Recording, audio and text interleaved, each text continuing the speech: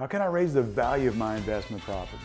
When it comes to making money on investment properties, most people think of increasing cash flow, decreasing their lending costs, and home appreciation. But today, let's focus on another way to make money with your rental property through renovation. Renovation will not only bring you a higher price when you sell the home, but it can also bring you tenants who are willing to pay more each month to live in your home.